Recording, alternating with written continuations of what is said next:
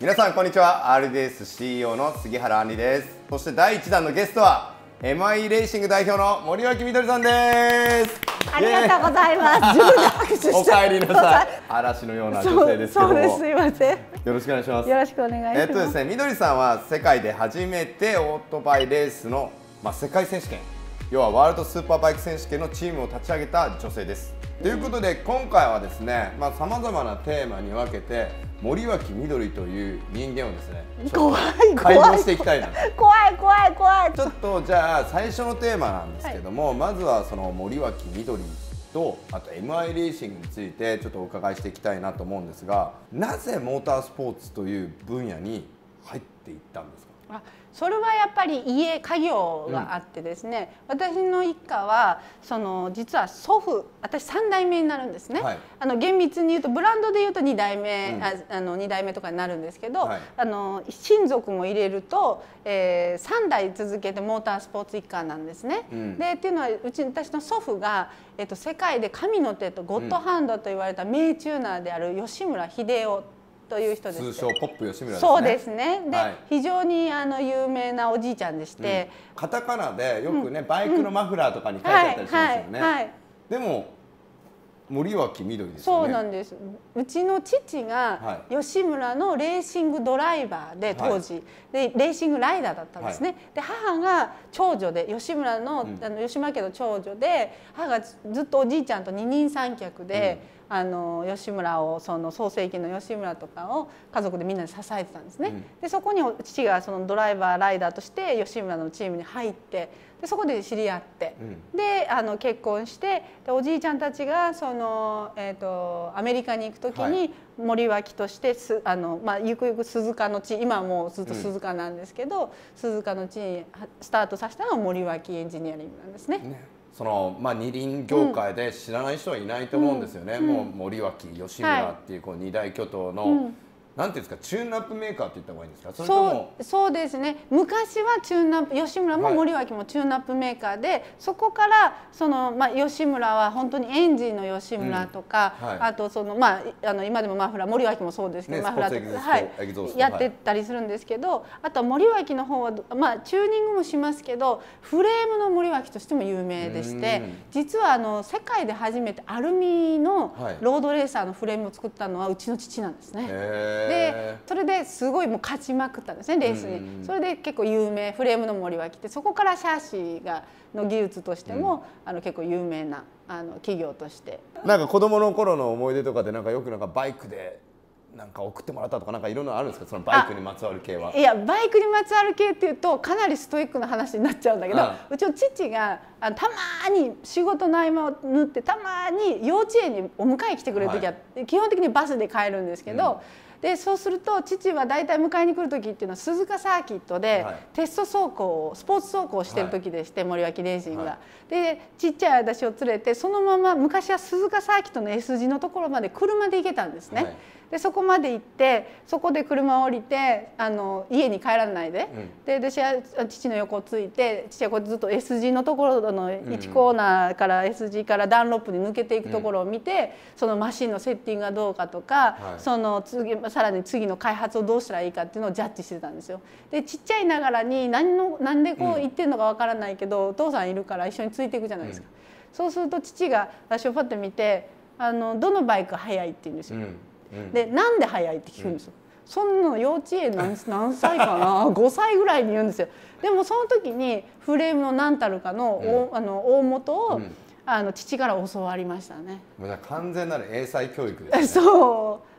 だからもう、うん。なるべくして今の森脇みどりになったってことですか？うそうまあそうかもしれないですね。父は多分あのすごいいつも20の扉っていうのをよくちっちゃい時からやっていて、私が何か質問するとじゃあ20の扉をやろうって言うんですね。であの質問に答えないんですよ、はい。でずっと反対に父が質問をしてそれに答えていって、うん。自分で答えを導かせるっていうのをうん。常にやる人だったんで、だからそのバイクの時もそうだったんですけどあのみーちゃんどっちがメインフレームとスイングアームどっちが動いてる、うん。どっちが動いてそのマシンはこう動いてると思う、っていうふうに言ったら目で見た感覚ではスイングアーうムん。なんですね。でそれけどそれは違うって教えられたりとか、なぜならっていうことをそれをこんなちっちゃい何の技術もゼロのこの ちびちゃんに言うんですかね。結構大事ですよね。大事ですね。子供だからとかいう言い方するじゃないですかそう結構皆さん。そうそう子供だからこそそう。そういうふうのをやはり根底から教えていく根幹から教えていくと、うん。そのパズルをはめ込むような感覚で、みんな分かっていくじゃないですか。そうですね。で大人になってくるとそこに意味を見出していくじゃないですか、うんだから子供の方がいいですよねそういうそう教育の絶対そう絶対そう。だから今でもこうはっきりこんな年取っても覚えてるっていうことは、やっぱりそれだけ子どもの脳裏に強く刻まれて、うん。それが基準になってるっていうのはすごいたくさんありますよね。じゃあもうその時から森脇を、うん。その継ぐみたいなうん。イメージはうん。ついていた？ってことですか、いやそうじゃなくてやっぱりそのうあの生まれた環境っていうのはやっぱりその、まあ、おじいちゃんの影響もありますし、うちのち父もあのすごくあるのでやっぱり、うん。ライバルで働、あのしいつもレースしてたしいつもその開発だとか技術に切磋琢磨してたのをそのそばで見てたのでこの世界がいいって思ったんですね。でも面白いですよね。それを世界が面白いって普通だと今の話皆さん聞いてくださいねおじいちゃんの会社とお父さんの会社が競ってるんですよ。そうそう普通だったそうらすげえ仲悪そうな雰囲気ですよ。そうそうそうそう。面白い。よだって鈴鹿にで鈴鹿八体とか全日本のレースがあるでしょ、うそうするとあの吉村のチームっていうのは大体レースのい2週間前ぐらいから鈴鹿に寝泊まりしてるんですよ。はい。でほとんど鈴鹿のうちのあのところでみんな作業してるんですよ。はい。だから吉村の白いつなぎに「アイブ・ゴト・ザ・パワー」って赤の字で書いたあの吉村っていう有名なね、うん。つなぎを着たお兄ちゃんと青いつなぎを着た森脇エンジニアリングやった人たちが、あのい一方はそうそうそうそうそう鈴え一つは鈴木のバイクこっちはホンダのバイクでチューニングして走ったお前ら負けんぞって横でギャイギャイギャイギャイ。であれですね僕らで言ったらミニ四駆みたいな感じそうそうそうそうそうそういう感じそういう感じ。あの秋葉原でそうそう。負けねえぞみたいな。そうそうそうそうそうそう。すごい意識低い話。そうそうそう。でもそういう感じ。でもそんな中で、まあみどりちゃんはん。18歳でん。オーストラリアですよね確か。そうです。最初オーストラリアですね。いつ決めたんですか？それは行くって。それはね実は、えー中学校の時に実はもう決めてて。で本当はアメリカに最初から行こうと思ってて、でそのちっちゃいんでこあの分からなかったんです。どれぐらいそのアメリカのビザを取るのが難しいとかあのどこどこのビザを取るのが難しいって全く分からないけどなんかレースでおじいちゃんがデートナで優勝とか父もデートナレースしてたとか、あとやっぱりあのよ US 吉村がもうありましたんで、そういうやっぱりレースのメッカっていうとイギリスとかヨーロッパとかアメリカだ要は欧米だっていうのがあったんでその英語だし、ん。あの次の私はゆくゆくその森脇で働くとかあのこどうのこうのじゃなくてこの世界に、えーこの業界で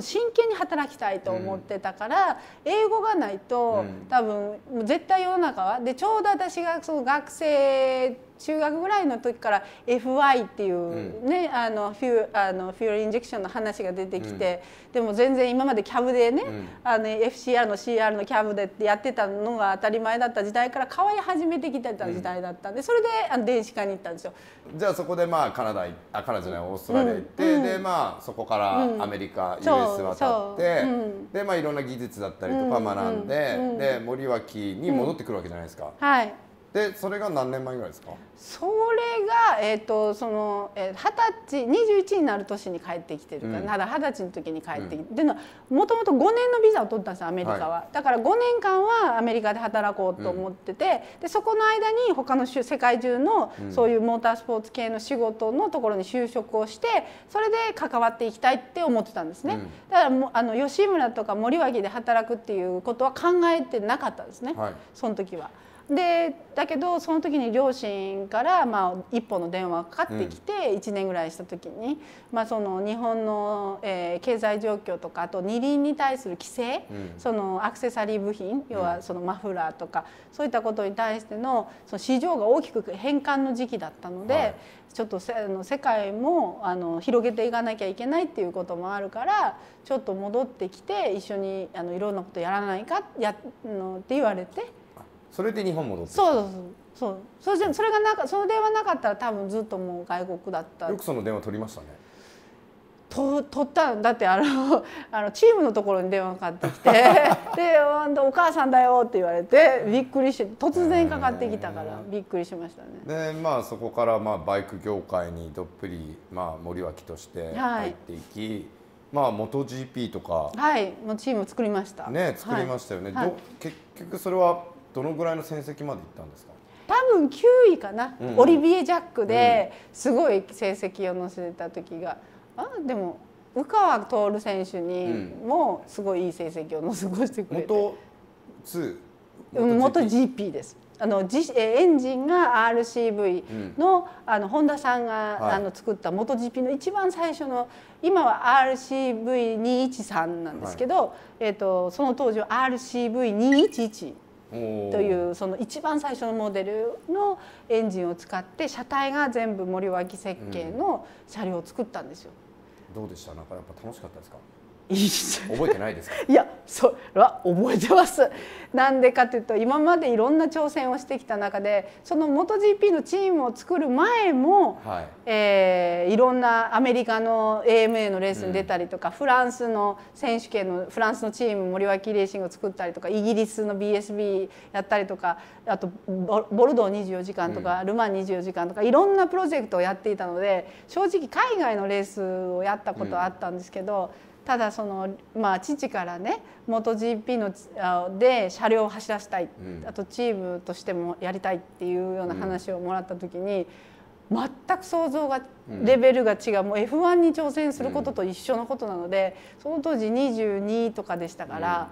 もうどどうやってやったらいいんだろうっていうところから、あといくらかかるんだろうって。そこですよね。そう。すごいコストとあとその絶対に絶対にトップ取れないっていうのも分かってるわけですよ。うん、なぜならそのメーカーが各その本田さんだけじゃなくてヤマハさんドカティとかね、ね、みんな、みんなそうそうそう。それでの総力を上げてきて戦ってしのぎを削ってるそのレースの場の場に、うん、そのまあ、本当にあのありがたいことに本田さんからあの援助を貸していただいてあの出場できたんであの出場できるようにしたんですけどでもどう考えてもトップいけないわけじゃないですか。でその中でのそのうちの価値森脇としての価値とはどういうことだろうっていうことにその20いくつの自分がその見つけ出してそれをもとにスポンサーを集めたりとかもうスポンサー集めるとこからもう何でもや何でも嫌だったんで、うん、もうなんか肩書きとかもうどうでもよくて、うん、とにかくやんなきゃいけないこと全てやったっていうのが自分のあれだったんであの時に恐怖でしたね。いやでもそうやってじゃあ、まあ、MotoGP も参戦して、はい。はい、でまあいろんなことを経て、えー、森脇みどりさんは、世界スーパーバイクに挑戦していくわけじゃないですか。はいちょっとこのチームを立ち上げたところまでちょっと今日は伺いたいなと思うんですけどもまず世界スーパーバイクとその MotoGP の違いって、うん、多分見てる方々ってちょっと曖昧かもしれないんですよね。うんはい、で僕の認識だと、うん、フルスクラッチで、その作っていくものが MotoGP、はい、でえー、世界スーパーバイクは市販されているバイクをいかにその、まあ、両方ともレギュレーションの沿ってですけども、決められたバジェットと決められたレギュレーションの中で、その市販されているバイクをカスタマイズしていくのが世界スーパーバイクという認識なんですけど、合ってます。か合ってます。なのでこちらスーパー GT とかにちょっと近いんですか、ね、近いです。っていうかほぼそういうことです、うん、えー、でなぜこっちを選んだんですか？そうなんですよ。みんなにね今でもあの私仕事で MotoGP も行くんですけど、はいなんで緑モト GP ずっとやってるのに世界チャンピオンも取ってるの、モト2でね、うん、あのこっちだお前のフィールドはこっちだろっていうすごい言われるんですよ。なんですけど私がそのレースをする時にどっちが有名とか人気があるではなくて、うん、何のためにレースに参戦するのかっていうのをすごく大事にしていて、人に言われたからやってるわけじゃないし、うん、なぜ？って言ったらあの国内選手権世界各例えば全日本選手権だったりアメリカの AMA だったりヨーロッパ選手権だったりどこの選手権も MotoGP のバイクって国内選手権走ってないんですよ。はい、で唯一 Moto3 クラス、はい、Moto2 クラスっていうのは、えーと、Moto2 は、えーとえー、アジヨーロッパでは走ってますけど、うん、他の国々欧州圏外のところでは、うんもう走れるとこないんですね、お金がかかりすぎるのと、やっぱり環境だ経済状況であったりとかして、なので全ての国内選手権っていうのはプロダクションレースでやってるんですね。プロダクションレースっていうのはいわゆる私たちが今レースをやってるワールドスーパーバイクなんですね、私がレースをする理由っていうのは一つは技術開発っていうのもあるんですけど、はい、もう一つは人を人材育成、うん、あとその未来のマーケットのためにっていうのがあるんですね、うん、人気度で言ったらもう月とスポぐらい違うぐらい MotoGP は人気があって、うん、まあ、あのスーパーバイクはそんなに人気が今はない昔はすごい人気だったんですけど、はい、なんですけどでも世界にじゃ出ていきたいと思う欧州圏外のライダーとかえっと、技術者とかっていう人たちがいきなり欧州のトップチームに MotoGP のチームに働いてす、うん、もしくはまたがってねですぐ結果を残せるかってできないんですよ。すね、やっぱり子供の時からの環境がヨーロッパ人はすごくやっぱり環境が整っている。サーキットもあれば安くレースができる環境も全部整ってる。それに比べて例えば南米、うん、北米、うん、あとアジアとか、えっと、あとアフリカ大陸の方だったりってするとそういう子たちは全然チャンスがなかなかないんですね。うん、でやっと一芸に秀でてあのスポンサーもついてヨーロッパのレース出れるってなってきた人も、うん、MotoGP の Moto3 クラスとか、うん、Moto2 クラスに行っちゃうとですねなかなかその今まで常に戦いに慣れてきた子たちと、すぐにパフォーマンスを発揮するっていうのはできないんですね。そうするとお金とそのタイミングをずらしちゃうっていうのをずっと見てきてるんですね。なのでそれを見てきた時に必要なのは世界で戦える人を育てながら、えー、その後例えばスーパーバイクで活躍した後 MotoGP のあのフィールドに送れるようなやっぱりあのコンセプトを持ったチームが必要で。うんあとその MotoGP の方はメーカーさんが Moto3 も Moto2 も MotoGP も全て開発をしているんですね、うん、車両の開発。なのでチームは本当にレースチレースを運営レースチームを運営するんですね、だけどスーパーバイクの方は独自でいろんな部品をすごいレギュレーションは厳しいんですけどその中で自分たちの発想がしてトライができるんですね。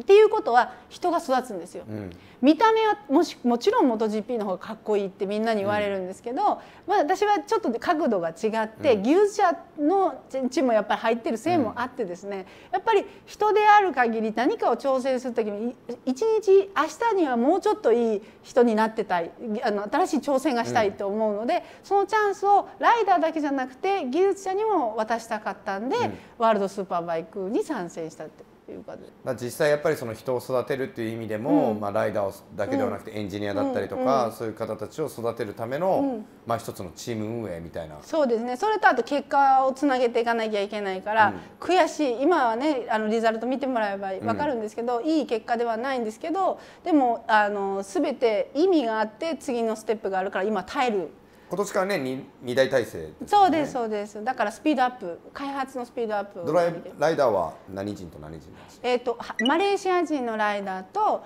アルゼンチン人のライダーですね。マレーシア人のライダーってあまり聞かないですもんね。そう。彼は実は、えーと、日本人以外の、えー、アジア人で一、はい、人だけですね。MotoGP まで走ったのは。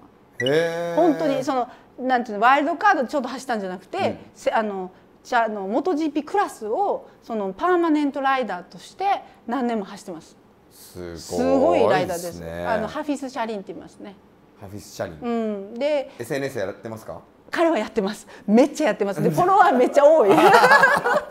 じゃあ彼にちょっとこの YouTube をちゃんと。じゃじゃあとリンク貼ってもらって。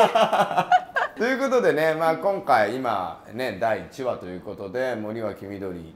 さんとあと MIE レーシングとちょっとね世界スーワールドスーパーバイクについてちょっとお話を伺いました。